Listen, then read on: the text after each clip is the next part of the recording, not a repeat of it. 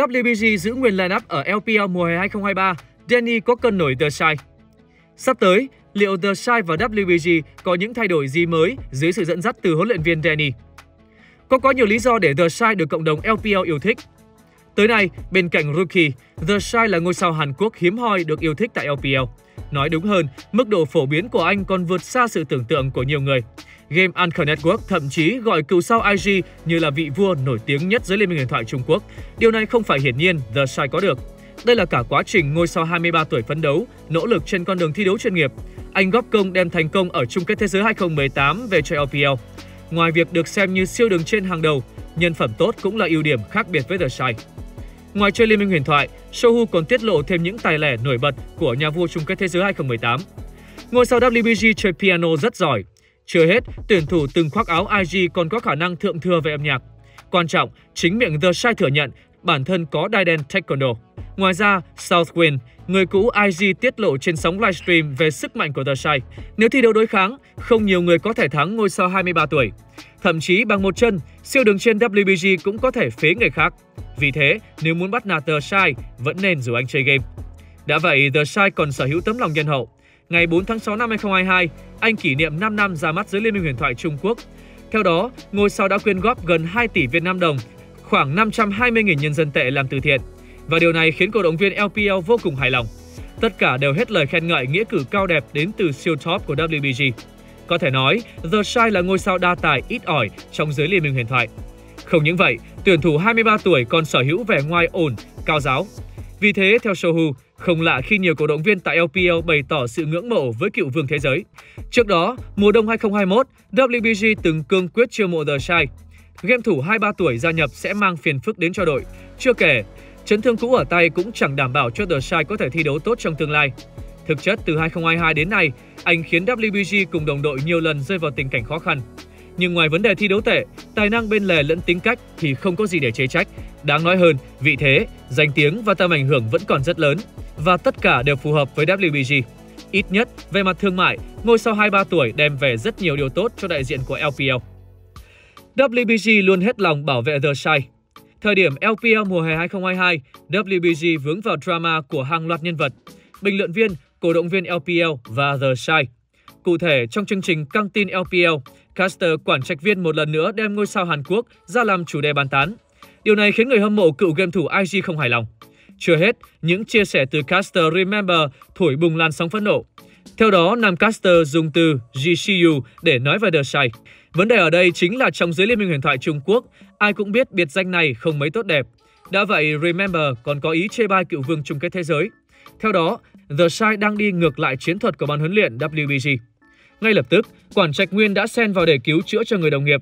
Thế nhưng, điều này đã đến tay khán giả. Cổ động viên The Shy vô cùng bức xúc với việc thần tượng bị đem ra chế giễu như vậy. Thậm chí, nhiều người còn đăng Weibo để phản đối Remember cùng với chương trình. Chưa dừng lại ở đó, phía WBG cũng phải vào cuộc để bảo vệ The Shy. Theo đó, đội đăng một video lên fanpage chính thức để chứng minh ngôi sao Hàn Quốc không có vấn đề tại WBG. Tiếng Trung của The Shy rất tốt và tương tác chẳng tệ với những thành viên khác. Quan trọng, đại diện LPL cũng giải thích rõ cách pick tướng đến từ anh. Cựu game thủ IG chỉ tuân theo chiến thuật từ ban huấn luyện. Ở đây, không hề có chuyện anh ta tự ý lựa chọn những quân bài bản thân yêu thích. Sau tất cả, WBG vẫn như ngày đầu, là đội tuyển rất có tâm với dàn sao. Họ luôn biết cách ủng hộ mọi người lúc thất bại, lẫn bảo vệ thành viên thời điểm có chuyện. Cũng tại LPL mùa hè 2022, có thời điểm tương lai của The Shy bị đặt dấu hỏi. Game Anchor Network cho hay, ngôi sao Hàn Quốc nhiều lần không trend team cũng không xuất hiện trên vanh hàn. Để rồi cổ động viên lo lắng WBG muốn để Decade thay thế cho The Shy như cách V5 đối xử với Karsa. Bởi lẽ cựu sao RNG cũng tự dừng mất tích trên vanh hàn. Và sau đó, anh liên tục phải san sẻ suất đánh chính với XLB và ngay lập tức WBG phải lên tiếng thành mình. Theo đó, Gaming House của đội đang gặp vấn đề về mạng. Bởi lẽ trời mưa rất to khiến đường dây mạng bị đứt ở tầng dưới. Vì vậy, đội phải gọi nhân viên đến sửa chữa. Cũng tại lý do này, một số tuyển thủ không thể leo rank được. Đồng thời, theo Game Anchor Network, không có chuyện WBG muốn thay thế The Shy. Mối quan hệ giữa đôi bên vẫn rất ổn. Ba lãnh đạo ông lớn đối xử với ngôi sao Hàn Quốc rất tốt. Quan trọng, cựu game thủ IG vẫn luôn là chủ chốt với WBG. Danny có cân nổi The Shy ở WBG. Trước khi Danny ngồi vào chiếc ghế nóng của WBG, vị trí này thuộc về Lee Ji-hoon. cựu sao người Hàn Quốc có một mùa giải không mấy thành công và phải chia tay đội nhà. Lúc đó có rất nhiều lời bàn tán xoay quanh câu chuyện của anh và một số ý kiến cho rằng Lee Ji-hun cuối cùng cũng chỉ là nạn nhân vì sự kém cỏi từ The Shai. Thực chất, từ khi WBG ra mắt LPL, The Shai và những người bên cạnh vướng vô số thị phi. Soft, Angel, Huan Feng rồi tới Karsa, Xiao Hu cũng đều bị vạ lây. Ngôi sao Hàn Quốc chơi tệ nhưng WBG lẫn cổ động viên cố ý phớt lờ, để rồi những cái tên kể trên phải đứng ra chịu trận. Và khi WBG công bố Danny trở thành huấn luyện viên, rất nhiều tranh luận hướng đến The Shai. Theo một số quan điểm, Danny sẽ có những thay đổi liên quan đến ngôi sao Hàn Quốc. Chưa hết, không rõ cựu thuyền trưởng DK sẽ áp dụng chiến thuật gì với The Shai. Sau tất cả, cả hai có thể khiến giới liên minh huyền thoại Trung Quốc sôi sục trong thời gian tới. The Shai, như đã đề cập ở trên, anh rất được lòng WBG và cộng đồng LPL. Theo đó, không dễ gì để đụng đến cựu vương IG. Còn Danny, anh cũng chẳng phải hạng vừa với lịch sử từng đối đầu với nhiều ngôi sao cộng cán. Về tài năng của Danny cũng chẳng có gì bàn cãi. Anh có lối chơi và tư duy rõ ràng.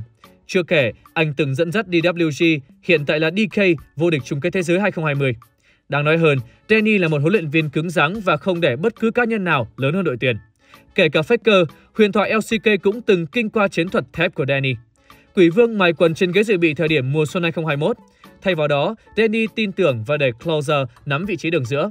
Faker thật sự trải qua ngày tháng đen tối, gần như mất cả tương lai dưới tay vị huấn luyện viên này.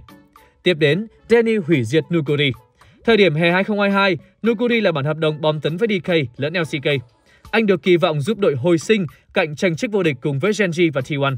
Nhưng dưới sự dẫn dắt của Danny với chính sách xoay tua, Nukuri ngày càng xa sút Cuối cùng, anh đã tuyên bố giải nghệ khi chung kết thế giới 2022 kết thúc và Danny lúc đó bị quy chụp là đã đẩy cựu sao FPX vào khủng hoảng tâm lý. Giờ đây, Danny tiếp tục đụng độ một siêu sao lớn là The Shy.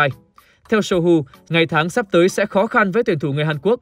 Cựu thuyền trưởng DK có thể áp dụng chiến thuật xoay tua giúp WBG thiết lập trật tự chặt chẽ lẫn thái độ thi đấu nghiêm túc. Song theo Sohu, đây sẽ là điều tốt với WBG. Đội đang có quá nhiều ngôi sao và cái tôi lại lớn. Vì thế phải có một huấn luyện viên cứng rắn như Danny để nội bộ WBC thay đổi.